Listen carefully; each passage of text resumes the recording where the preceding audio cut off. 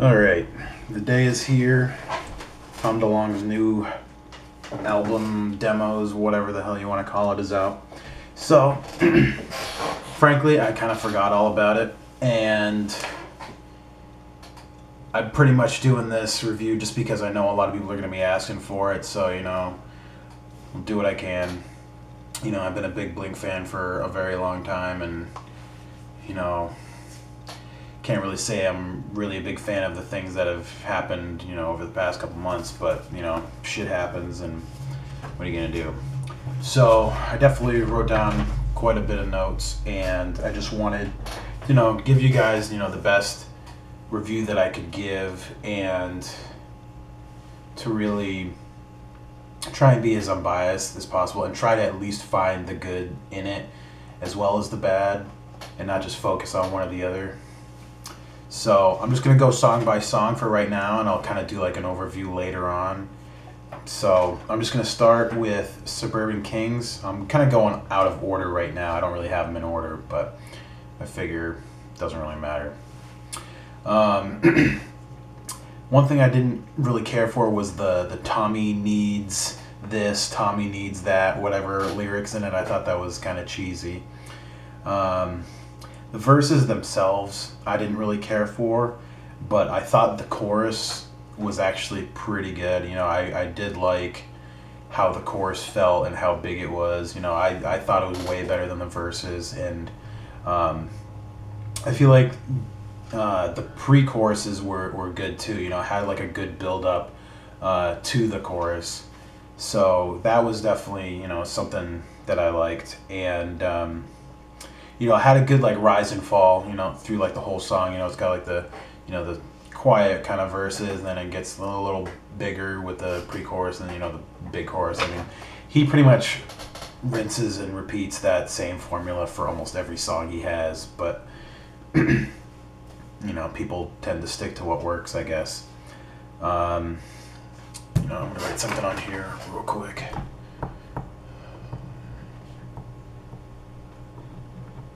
Um, I didn't really care for the bridge in this song particularly. I thought it was pretty weak. All right, next song is uh, Golden Showers and what was it? Golden.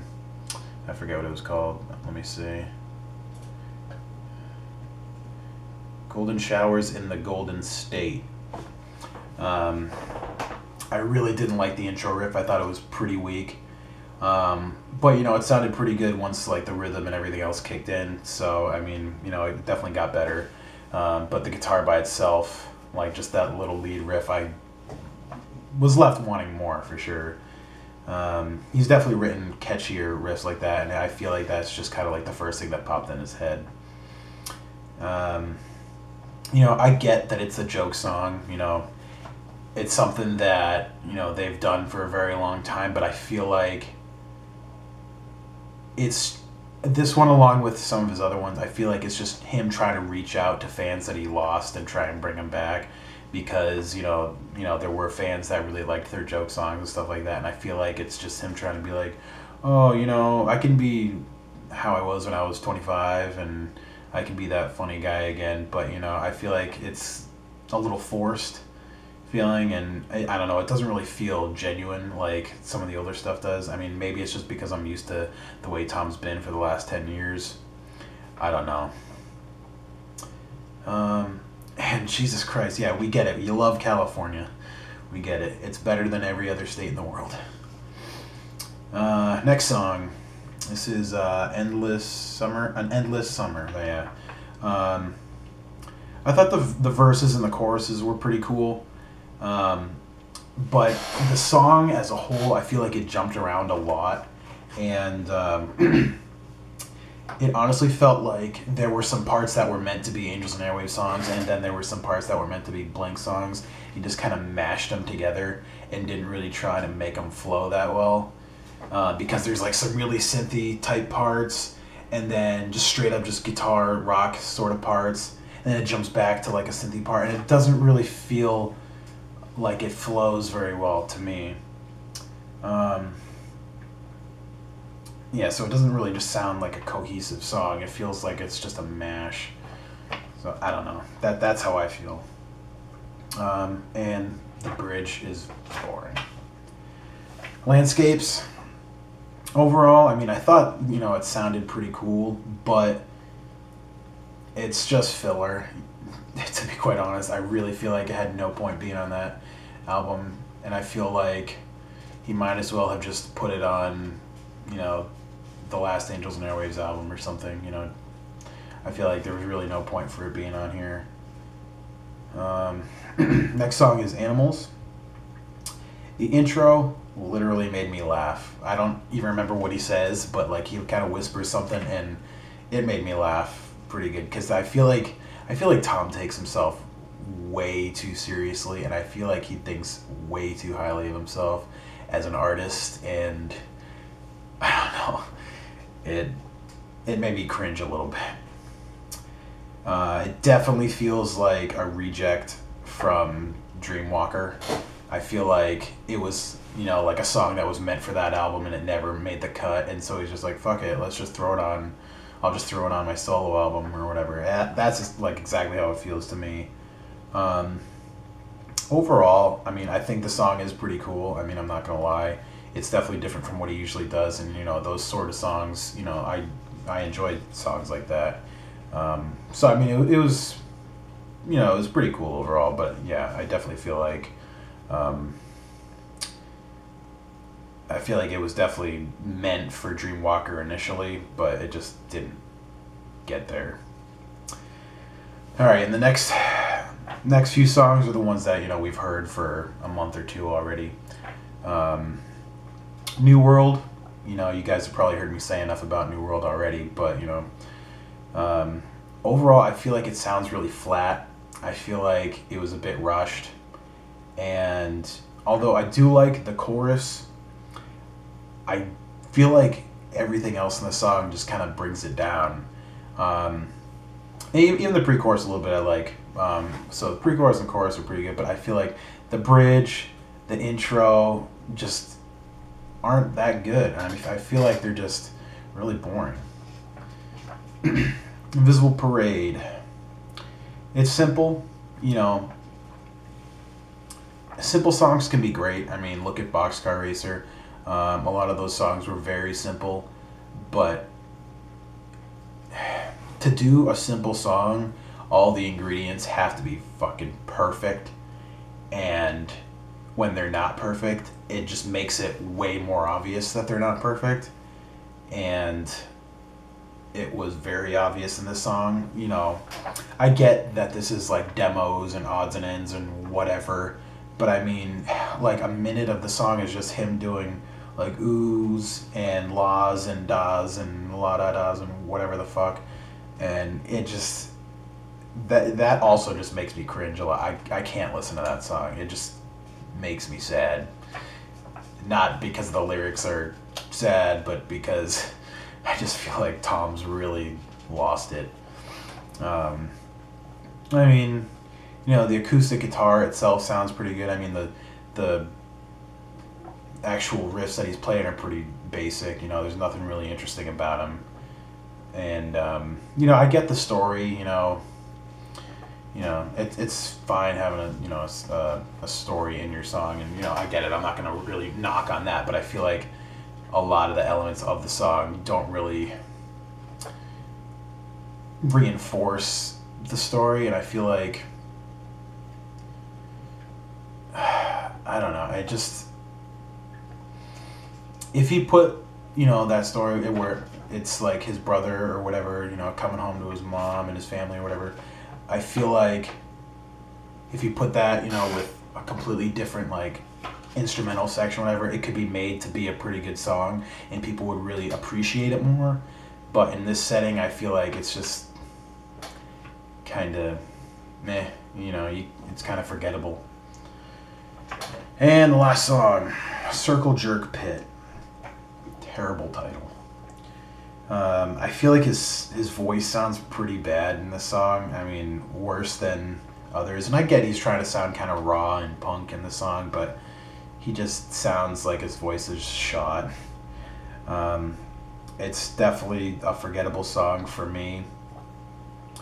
Um, I, and like like I said with uh, Golden Showers, um, I feel like he's just really trying to reach out to those fans that he lost and say like, hey, come on, I, I can do punk stuff. You know, I'm I'm still that cool guy from 2001. You know, and those really old style things that he's trying to do just aren't coming across very genuine to me and i feel like it was the same type of thing with like Sum 41 and any number of bands that say hey this new album's going to sound just like you know our old album the one that you guys love and you know they come out with the album and you know you could try you could tell that they were trying to get there but it just falls completely flat and it just feels like they were just trying too hard to be something that they were in the past and not just be who they are now, you know. So here are my overall notes, just for you know the overall uh, feel I get for the whole album. I feel like it's rushed. I feel like a lot of the songs he wrote in, you know, an hour or less. You know, Circle Jerk Pit. I feel like he could have written in, in an hour or, or half an hour. You know, pretty pretty simple. Uh, same thing with New World. You know, that was really simple. Same thing with Visible Parade. Some of the other ones, I mean, I could definitely tell that there was some more going on, but that's because I feel like they were meant to be, you know, Angels and Airwaves stuff that I feel like he put a lot of time into, and it just didn't make the cut for, you know, an older album. Okay, I didn't want that anyway. Um, so yeah, I feel like there's definitely a lot of Ava songs that it just that just weren't as good as the others. I definitely feel like there were a lot of weak bridges in the songs, and that's something Tom's been doing for a little while now. Every single song on Neighborhoods had a weak fucking bridge, had nothing going on. They're like, you know what? We need a bridge in this song, and let's just make it some drums and um, some really, you know, boring bass and some really just like, you know, just drawn out chords and just no melodies and almost you know nothing interesting going on and that bugs the shit out of me bridges could be so fucking cool and you know you could throw like a solo or you could you could do a number of things. And tom delonge just always fucking does the most boring bridges and it annoys the shit out of me. And i don't know i just i hate that. Um, you know, there were some parts in the whole album that I did like, like I mentioned, but there's just so many parts that just feel like filler, like Invisible Parades, where he's just singing, you know, word words that aren't even words, and you know, just making sounds and melodies, whatever, and they just sound like he's just trying to make filler and just make the songs, you know, last a little bit longer, and I don't know. I feel like he should have. you know, maybe spent a couple more months on this album, made the songs not odds and ends and demos, and it would have been, you know, a better overall album because I feel like by rushing it and by charging a fucking shitload, he he knows people will buy his albums. He knows it because there are so many kids that follow him, you know, and will follow him to their graves and he will charge whatever the hell he wants, and he knows that he'll get it. And I mean, granted, you could have like just bought a CD or something for ten bucks or whatever, but he knows that he's gonna be able to just like make up packages of stuff that probably cost him close to nothing, and sell them for hundred dollars or more, and it's ridiculous. You know, you know, he throws, he could throw his uh, autograph on something and be like, oh yeah, that's that's worth a crap load of money. And, you know, he, I feel like he's just taking advantage of his fans. And I feel like he rushed it just to kind of spite Mark and Travis. And I feel like he's really trying to keep the focus on him and, you know, not on Mark and Travis.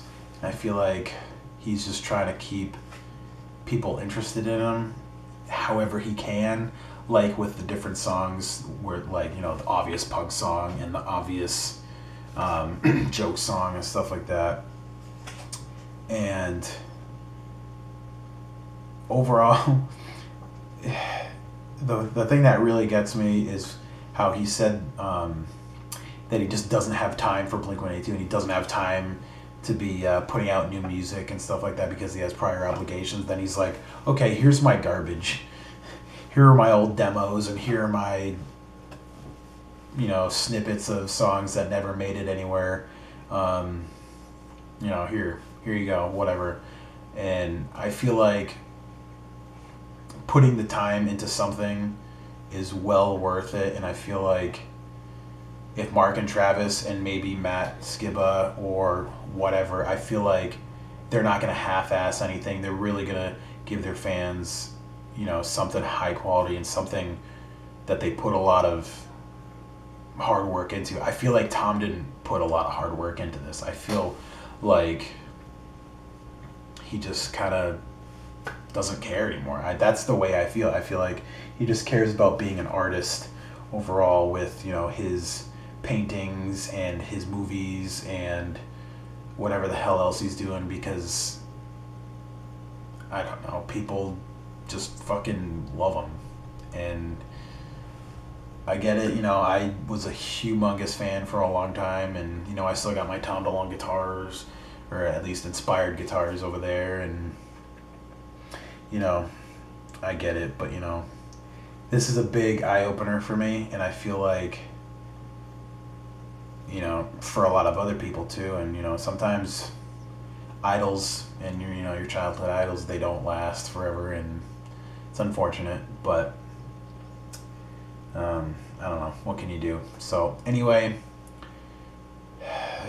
the uh, the album's got a couple decent parts in it. You know, there's some parts that um, you know I do like, and they do remind me of like the older Blink stuff, and you know the parts that I really loved about Tom, but I feel like the Tom that we knew and loved is too far gone, and I feel like if we really want anything Blink 182 related or Blink 182 essence, we're just gonna have to wait for Mark and Travis to do something. Maybe Plus 44 will come out with something. Maybe they'll do something with Matt from Alkaline Trio. I don't know. We'll just have to wait and see. So, anyway let me know what you think. I, like I said, I tried to be as unbiased as I really could. And um, yeah, leave me a comment. Let's see what you think. See ya.